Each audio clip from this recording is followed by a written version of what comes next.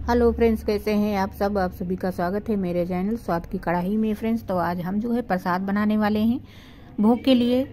तो कम समय में और कम सामान से हमने जो है भोग बनाया है। तो चलिए, यहाँ पर हमने एक कटोरी सूजी ली है, उसे जो है हम बिना घी डाले इसी तरह कच्चापन चला जाए और इसे हम रोस्ट कर लेंगे। तो इसे लगातार चलाते रहें जिससे कि ये जले नहीं। नहीं तो ये जो है तली में जल जाएगी तो इसे लगातार चलाते रहें और धीमी गैस पर ही इसे जो है भून लें।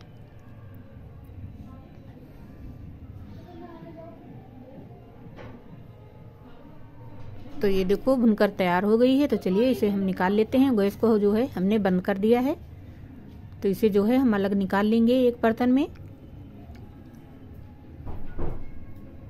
तो यहाँ पर जो है हमने दूध लिया है, दूध में जो है सूजी को हम डाल देंगे।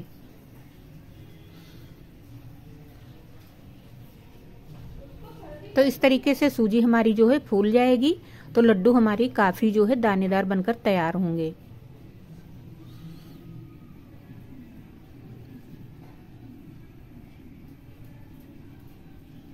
सारी सूजी को दूध में हमने मिक्स कर दिया है, और पाँच मिनट के लिए हम इसे ढककर छोड़ देंगे।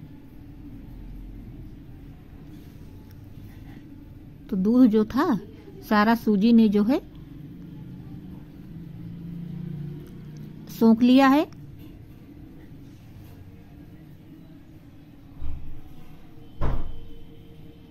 चलिए इसे हम ढक देते हैं। तो पाँच मिनट बाद हम देखेंगे, ये देखिए सूजी जो है फूल गई है काफ़ी, इस तरीके की।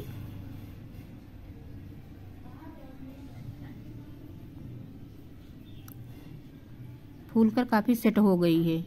तो गैस जलाएँगे और हम एक बर्तन रख देंगे, जैसे कि कढ़ाई और कढ़ाई में डालेंगे घी। और घी अच्छे से जो है गर्म हो जाने देंगे।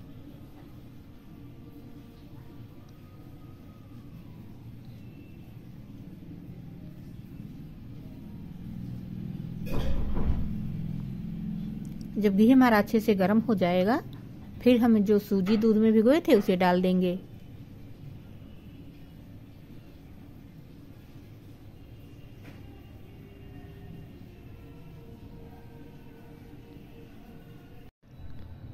तो घी में जो है हमने सारी सूजी जो है डाल दी है, इसे जो है फिर से हमें हल्का सा भूनना है, जिससे कि इसके दाने दाने जो है वो अलग हो जाएँ।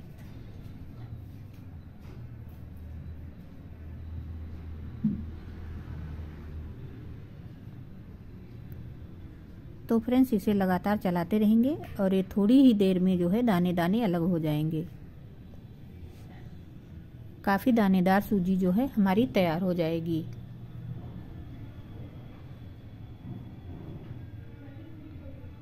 और इसे बनाना काफ़ी आसान है तो एक बार आप लोग इसे ज़रूर ट्राई करें।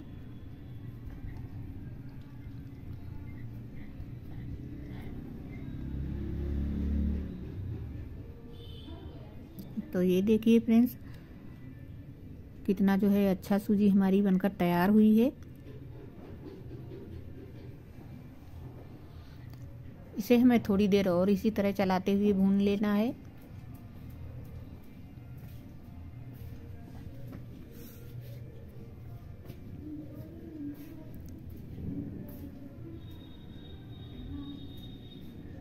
सूजी हमारी काफ़ी फूल गई थी तो वो अच्छे से जो है पक चुकी है, क्योंकि दूध हमारा जो है हल्का गुनगुना था इसीलिए।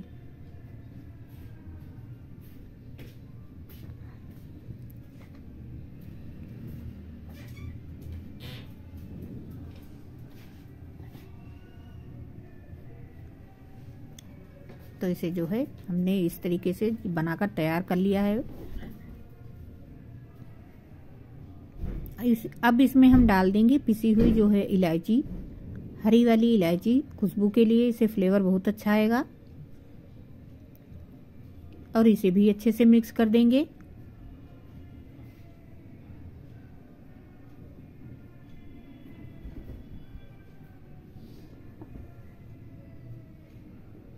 और ये काफ़ी मज़ेदार रेसिपी है।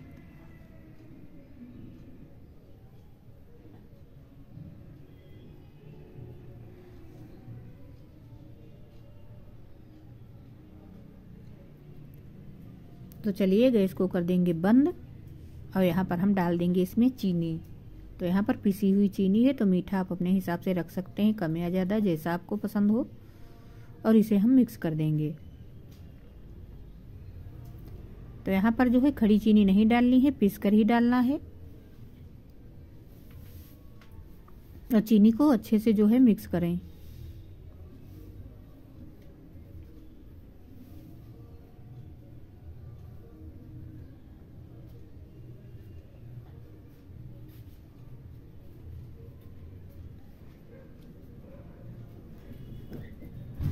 तो चीनी को जो है हमने अच्छे से मिक्स कर दिया है तो चलिए इसके हम दो भाग कर लेते हैं।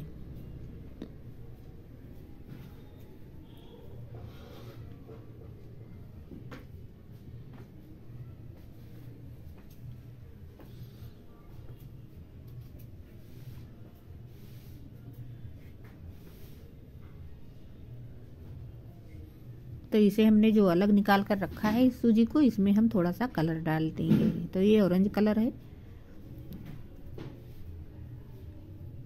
और ये फ़ूड कलर है, जो हर मिठाई में पड़ता है वही। तो इसे हम मिक्स कर देंगे सूजी के साथ में।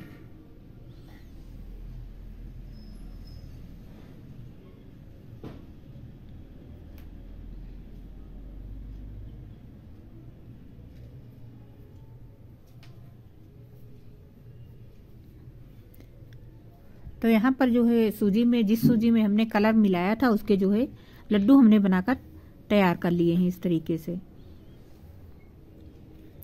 और जो दूसरी वाली सूजी थी जिसमें कलर नहीं पड़ा था तो इस, उसे जो है हाथों से इस तरीके से हम चपटा कर लेंगे और बीच में पीला वाला लड्डू रख देंगे और बंद कर देंगे।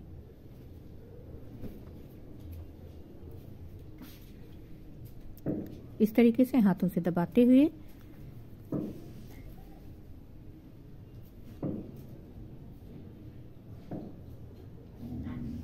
और ये हमारे परफेक्ट लड्डू बनकर तैयार हैं सूजी के। तो इसी तरह सारे बनाकर हम तैयार कर लेंगे। चलिए आपको काट कर दिखाते हैं।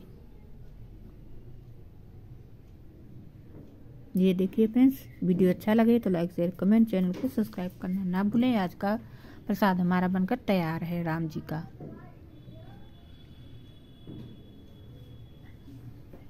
तो घर में रखे, कुछ ही सामान से जो है बनकर तैयार हो गया है।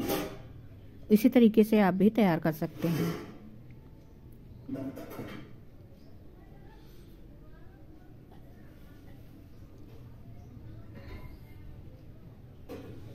तो यहाँ पर थोड़ा हमने फ़ूड कलर लिया है, उसमें हम दूध डाल देंगे। तो हमारे पास केसर नहीं था तो यहाँ पर जो है हमने नारियल का जो है लिया है, बुरादा छील लिया था। उसे जो है कलर कर लेंगे इस तरीके से।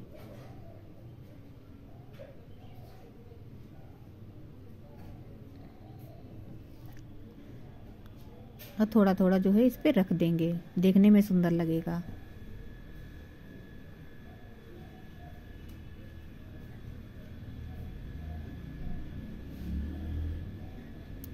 तो सारे पर जो है एक एक लच्छा रख दें इस तरीके से। लग रहा है ना खूबसूरत प्रसाद हमारा। फ्रेंड्स वीडियो अच्छा लगे हो तो लाइक शेयर कमेंट चैनल को सब्सक्राइब करना ना भूलना।